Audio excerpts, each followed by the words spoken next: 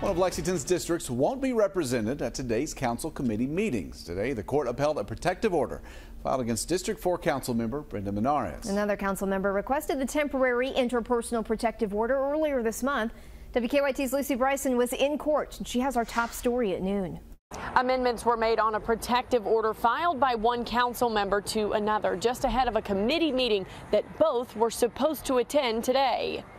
Earlier this month, Councilwoman Denise Gray requested a temporary interpersonal protective order against Councilwoman Brenda Monárrez.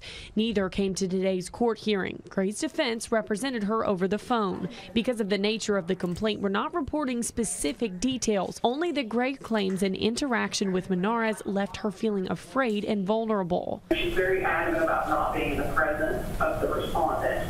She has indicated to me that um, there are other individuals that have had similar issues, and she's very afraid um, that the behavior will continue. The order originally filed between the two was amended. Monárrez now can't come within 500 feet of Gray or her home. It also changes the way Monárrez will work for the foreseeable future respondent is going to work from home, so basically not go to the office. She must now also attend meetings on a remote platform instead of in person.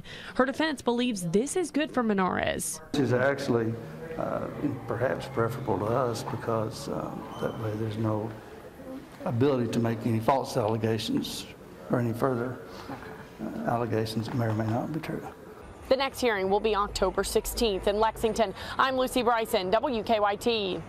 A spokesperson for the mayor's office told the Herald Leader Monárrez won't be able to attend today's meeting virtually, telling the paper the city had to give a 24-hour notice about the change due to the state's open meetings laws.